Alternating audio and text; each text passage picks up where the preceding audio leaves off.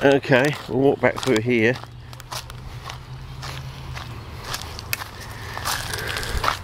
And uh,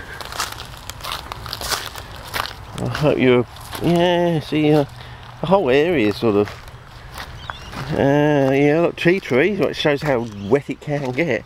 You know, tree trees are a really good sign of, as Donnie and I learnt, tea tree and CPs in, well, at least southern Australia seem to go.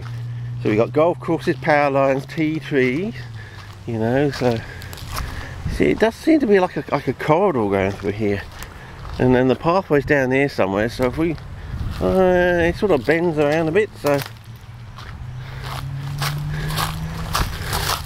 As you can see well maybe I should actually photograph this corridor thing from back here somewhere you know down low for Rossi sort of thing.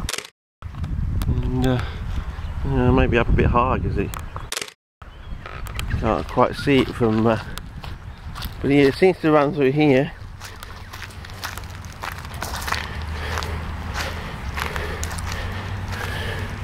Gets a bit wetter here, or looks like it does.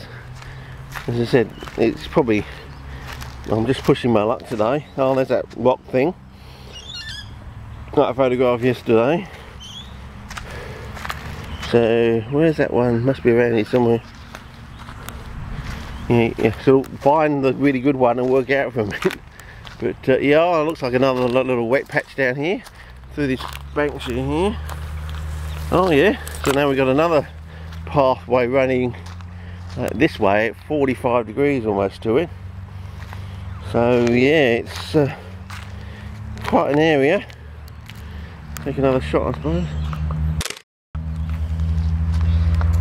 and down here maybe it switches to macro when you take a photograph in video or something maybe that's what it's doing I don't know